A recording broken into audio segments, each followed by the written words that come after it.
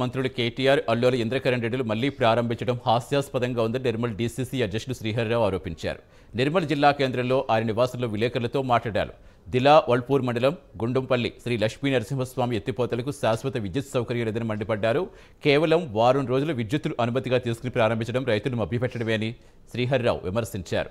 యాభై వేల ఎకరాలకు సాగునీరు అందుతుందని అబద్ధాలు చెప్పి ఎన్నికల జిమ్మికతో బీఆర్ఎస్ ప్రభుత్వం ప్రతి ఒక్కరిని నట్టేటు ముంచుతుందన్నారు. రెండు మూడు రోజుల్లో ఎన్నికల నోటిఫికేషన్ వస్తుందని అసంపూర్తి పనులు ప్రారంభించడం ఎంతవరకు సమంజసమని శ్రీహరి ప్రశ్నించారు. దీనిపై చర్చించేందుకు తాను సిద్ధంగా ఉన్నామని సవాల్ చేశారు. ప్రారంభోత్సవం చేయడం సిగ్గుచేటని. దాంతోపాటు ఇంకా కొన్ని విషయాలను ప్రశ్నిద్దామని చెప్పి ఒక బాధ్యత గల ప్రతిపక్షంగా గుండంపల్లి లిఫ్ట్ ఇరిగేషన్ వద్దకు వెళ్ళినప్పుడు మమ్మల్ని అప్రజాస్వామికంగా పోలీసులు అరెస్ట్ చేసి